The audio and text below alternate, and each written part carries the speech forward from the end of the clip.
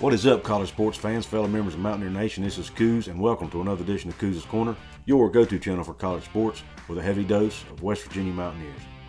Will it be Q Country roads for the Mountaineers on Saturday, or the Jayhawks be saying Rock Chalk Jayhawk? Well, that's what we're going to find out as I break down this Kansas-West Virginia game coming up this weekend.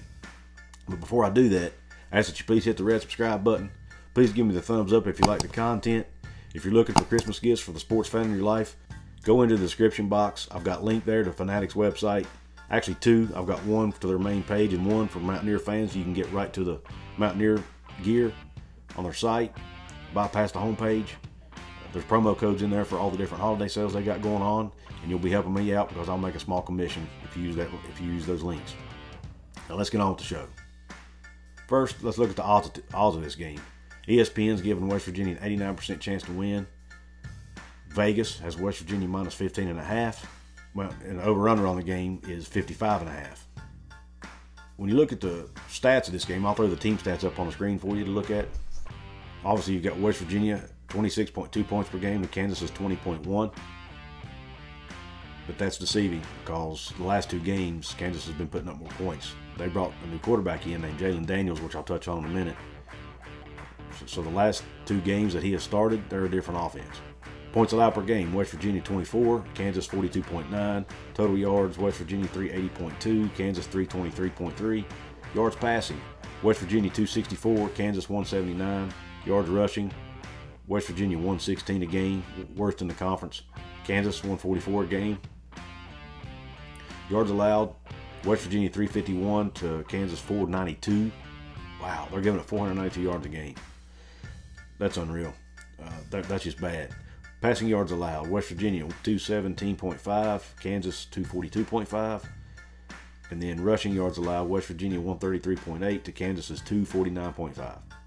What stands out there to me, number one, Kansas's defense is just really bad. I mean, there's no no way around it. Even the last two games where they've played better, the games have been much closer. Matter of fact, they even beat Texas two weeks ago. They still gave up a lot of yards. And keep in mind, Kansas has the worst defense in the Big 12. They played Texas and TCU, who have the eighth and ninth worst defenses in the Big 12. So they were they were able to put up yards and points on those teams, but their defenses are nowhere near as good as West Virginia's. But that being said, this Jalon Daniels kid's the real deal, and he's playing well right now. So Kansas's offense is looking good. They don't beat themselves. They don't throw. They don't turn the ball over much. They don't commit a lot of penalties. They play good, clean football. They're well coached. So West Virginia cannot sleep on this team because they can beat us. They can beat us. Now let's look at the key players in this game. Obviously, you've got Jarrett Doege for West Virginia. He's 238 for 365, 2,738 yards, 16 touchdowns, but he does have those 10 interceptions. As you see, he's only 262 yards away from reaching the 3,000 mark on the season, which would be a huge accomplishment. Be, be, it'd be cool to see him get that in this game. Now you look at Kansas's quarterback, Jalon Daniels. Now keep in mind he's only started two games and played part of a third game due to injury to the previous starter. But he's 59 out of 85, which is 69%. That's really good. 611 yards, six touchdowns, only one interception, QB rating of 151. So he's a good quarterback, and he, he's not a he's a pass first quarterback. He prefers to throw the ball, but he can beat you with his feet if he has to. So West Virginia's got to be careful with that. Don't let him beat him with his feet. Right? Uh, you look at the running backs. Obviously, Leddie Brown, he's 91 yards away from a 1,000, so he's got 909 yards on the year on 204 carries. He's got the 12 touchdowns. Devin Neal for Kansas, very good back. 158 carries, 707 yards, 8 touchdowns. Had 143 against Texas two weeks ago. Receivers, Winston Wright Jr. got 57 receptions, 643 yards, and 3 touchdowns. Kwamie Lassiter for Kansas, 52 receptions, 608 yards, 3 touchdowns.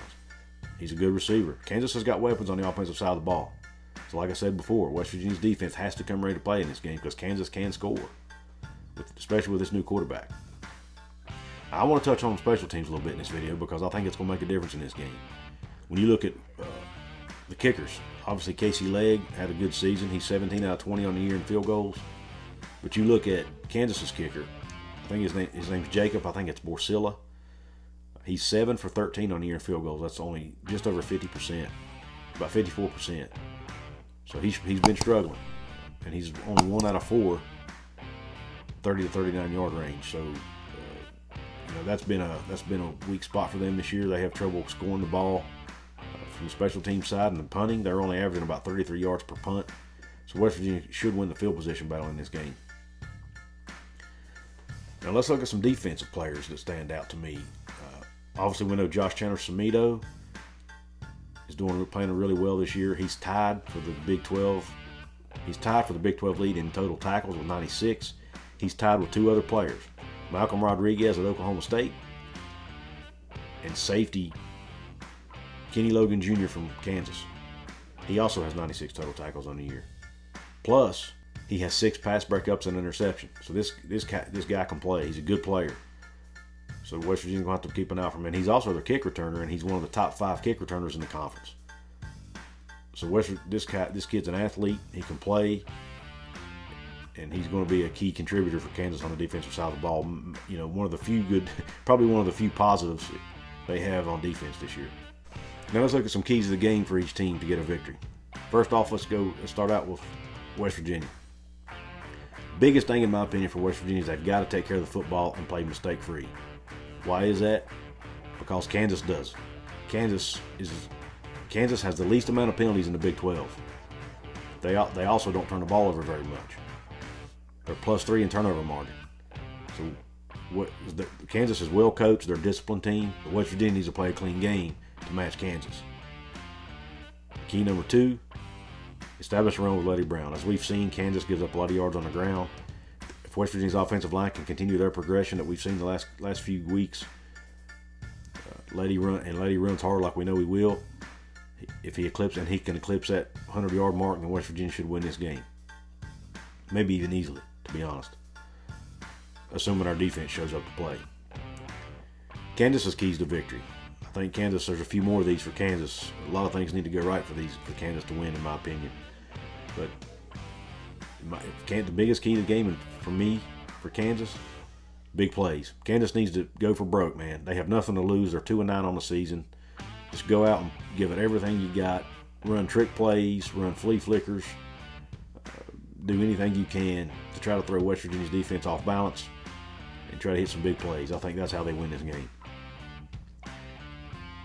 They need to score in the red zone. They're currently last in the league in red zone scoring. They're going to have to improve their performance in the red zone if they have a chance to beat West Virginia. Number three, they need to get to Jarrett Doege. We know that Doege's prone to turn the ball over if he gets pressured. So if Kansas can get to get to him, they do have a defensive lineman who's got six and a half sacks on the year. Name's Kyron Johnson. So if him and his teammates can uh, make some plays in the backfield on West Virginia, then they, they can beat West Virginia. Obviously, stopping the run is going to be key. Can they stop Leddie Brown? And then uh, turnovers. If they can limit turnovers like they have all year and create some turnovers for West Virginia, then they can win the game. What's my score prediction for this game? Basically, if West Virginia shows up, does what they need to do, plays mistake-free football, I think they win this game.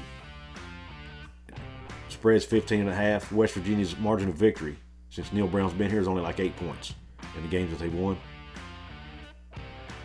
So they so they normally don't win by 15 and a half. But I think this week it's going to be different. They're playing for a bowl game. They're going to have a lot to play for. For the seniors, it could be their last time playing a game in a Mountaineer uniform. So I think they're going to give it everything they've got. I think West Virginia wins. I think they, I think they cover, and I think they win by 17 points. I think they win 38 to 21. I think West Virginia's defense holds Kansas pretty much in check. I think West Virginia's I think West Virginia's able to establish the run with Leddie Brown, which is going to open up the passing game. Doege's going to have a big day. I think Leddie's going to have a big day. It's going to be similar to what we saw last week against Texas, if not better. And West Virginia wins by 17, 31, 38 to 21. Well, let me know in the comment section what you think about my score prediction. Do you think it's realistic? What's your score prediction? Please drop in the comment box. Please don't forget to hit the like button if you like this video. Red subscribe button to help me get to my goal of 500 by the end of the year. And I encourage you to watch this video right here. Thanks for tuning in. Until next time.